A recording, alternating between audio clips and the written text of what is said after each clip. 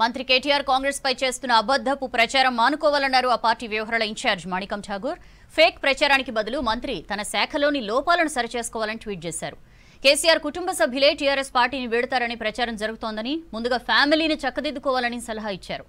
Congress MP Uttam Kumar Reddy Gandhi కుటుంబానికి Congress party పట్ల ఉన్న నిబద్ధత అందరికీ తెలుసంటూ ఆయన ట్వీట్ను రీట్వీట్ చేశారు.